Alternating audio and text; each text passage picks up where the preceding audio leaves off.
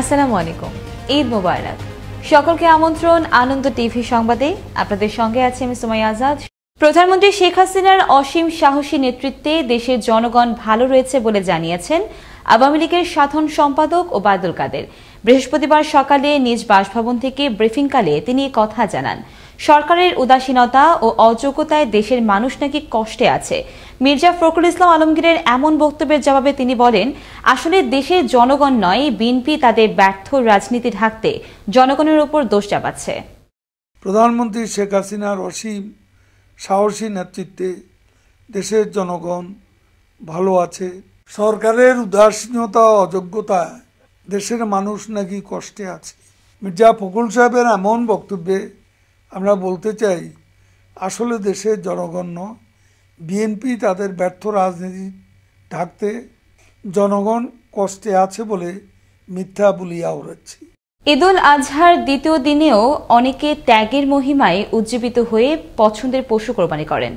বৃহস্পতিবার সকালে পশু কোরবানি দেওয়ার এই চিত্র দেখা যায় রাজধানীর বিভিন্ন এলাকায়। অন্যদিকে মাংস পেয়ে তৃপ্তির ঢেকুর ছিন্নমূল মানুষের। মুসামিয়ার প্রতিবেদনে থাকছে বিস্তারিত। ক্যামেরায় ছিলেন খলিলুর রহমান।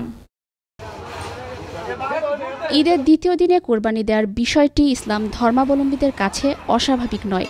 তাই অন্যান্য বারের ন্যায় এবারও দ্বিতীয় দিনে কোরবানির পরিমাণ কয়েকটি কারণে বেশ চোখে পড়ছে। কুরবানির দাতারা বলছেন, ঈদের তিন দিন পর্যন্ত কুরবানির রেওয়াজ আছে। তাছাড়া বংশ পরম্পরায় তারা এ রীতিতে কুরবানি করছেন। বিতরণ করছেন আত্মীয় স্বজন ও অভাবীদের মাঝে। বাপদাদার থেকেই ঈদের পরের দিন দেয়। তার কারণ হলো ঈদের পরের দিন পরিবেশও ভালো থাকে কষাই পাওয়া যায় ভালো কষাই। তিনশোর উপরে প্যাকেট আমরা দিই তিনশো সাড়ে তিনশো প্যাকেট আমরা দিই এবং মিসকিন মিসকিনের মাংস আমরা আলাদা দিই মানে পাঁচশো প্যাকেটের মতন। ঈদের পরে করি এই জন্য যে কুরবানির দিন তার সমস্যা এবং তার বাবা করে আসছে কুরবানির পরে, সেজন্য কুরবানির পরের দিন করা হয়, কারণ তার বাপের অজিত ধরে রাখছে। অনেকে ঈদের প্রথম দিন কষাই না পেয়ে দ্বিতীয় দিন কুরবানি দিচ্ছেন।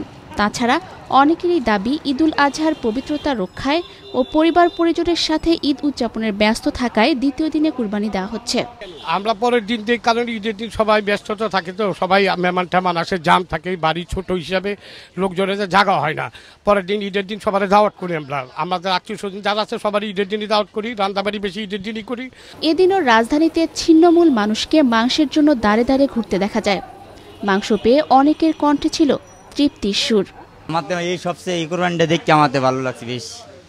আমাতে মাংস পাই খুশি হয়েছি। এগোছিলে মনে করেন আমার বৃদ্ধ বাবা মারে নিয়ে এতে মেয়ে নিয়ে আমি খাইয়া খুব ভালোই থাকি। পারিবারিক ঐতিহ্য ও ইসলামী বিধান হিসেবে ঈদের প্রথম দ্বিতীয় কিংবা তৃতীয় দিন বিভিন্ন ধরনের পশু কুরবানি দেন অনেকেই।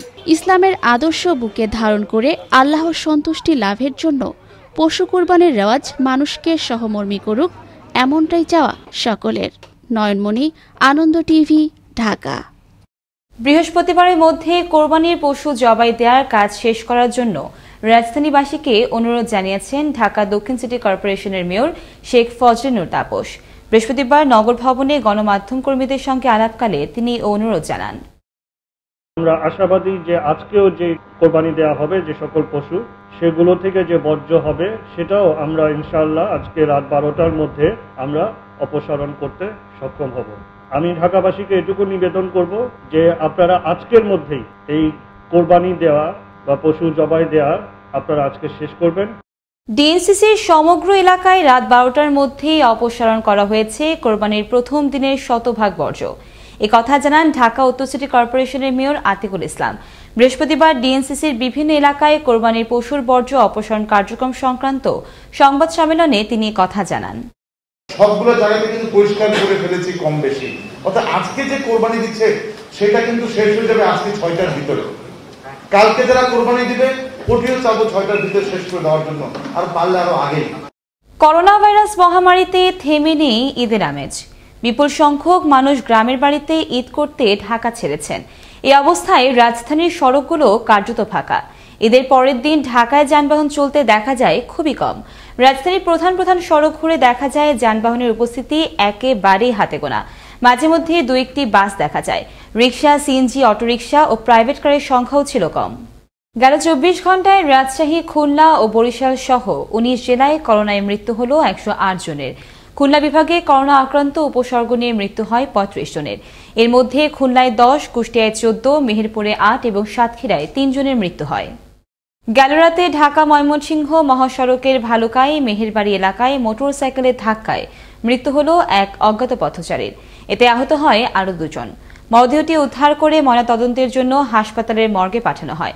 ঘটনার সত্যতা নিশ্চিত করেন হালুয়াঘাট থানা পুলিশ। করোনা সংক্রমণ রোধে একের পর এক লকডাউনে বিপর্যস্ত বাজারের পর্যটন শিল্প।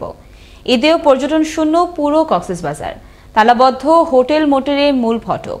করোনায় নয় হাজার টাকার ক্ষতি হয়েছে বলে দাবি পর্যটন সংশ্লিষ্টদের। বাজার থেকে ইস্তে ফারুকের প্রতিবেদনে আরও জানাচ্ছেন মোস্তফা কামাল তোহা।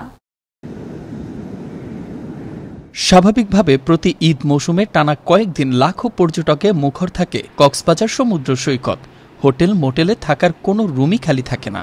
রুম না পেয়ে অনেকেই রাত কাটান গাড়ির মধ্যেই। কিন্তু করোনার সংক্রমণ রোধে সরকারি নিষেধাজ্ঞায় এই ঈদেও নেই কোনো পর্যটক। প্রতিটি হোটেল মোটেলের ফটকে ঝুলছে তালা। মাঝখানে সংক্রমণ কমে আসায় কয়েক মাস খোলা থাকলেও আবারও বন্ধ ঘোষণায় বিপর্যস্ত এ পর্যটন শিল্প।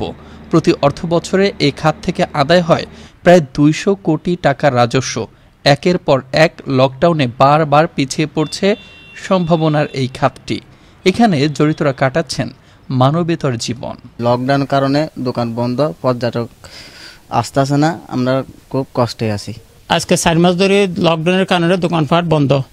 আমরা আমাদের শুটকি অনেক টাকা শুটকি নষ্ট হয়ে যাচ্ছে। ঈদের সময় আমরা ব্যবসা বাণিজ্য করতে পারি নাই খুবই কষ্ট হয়েছে এবছর কোরবানির ঈদেও আমরা ব্যবসা বাণিজ্য করতে পারিনি গেল রোজার ঈদেও ছিল লকডাউন কোরবানির ঈদেও চলছে লকডাউন এতে প্রচুর আর্থিক ক্ষতির পাশাপাশি এ শিল্পে জড়িতরা মানবেতর জীবনযাপন করছে বলে জানিয়েছেন এ ব্যবসায়ী নেতা। একের পর এক লকডাউনের কারণে আমাদের রমজান ঈদের সিজনটা বন্ধ ছিল। এখন কোরবানির ঈদেও আমাদের বন্ধ থাকবে এই সেক্টরটা তো আমরা বিশাল আর্থিক ক্ষতির সম্মুখীন আমাদের এই সেক্টরে জড়িত যে সকল লোকজন এবং কর্মকর্তা কর্মচারী সবাই মানবত জীবনযাপন করছে।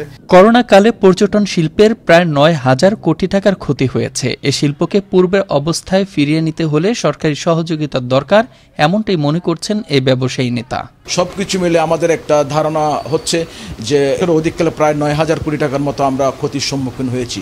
এর মধ্যে কিন্তু অনেকে কিন্তু ব্যাংক ঋণের সাথে সম্পৃক্ত। সুতরাং সব কিছু মিলিয়ে এই শিল্পীকে যদি আমরা যদি আবার পূর্বের অবস্থায় ফেরত নিয়ে যেতে চাই, তাহলে এখানে সরকারি সহযোগিতা দরকার। ইট পাথরের শহর ছেড়ে পর্যটকরা কক্সবাজার সমুদ্র সৈকতে ছুটে আসে প্রশান্তির খোঁজে। কিন্তু ভয়াল করোনার থাবা কেড়ে নিয়েছে তাও করোনার এই অন্ধকার কেটে আলোয় আলোকিত হবে বিশ্ব। অতি শীঘ্রই লাখো পর্যটকে মুখরিত হবে কক্সবাজার সমুদ্র সৈকত।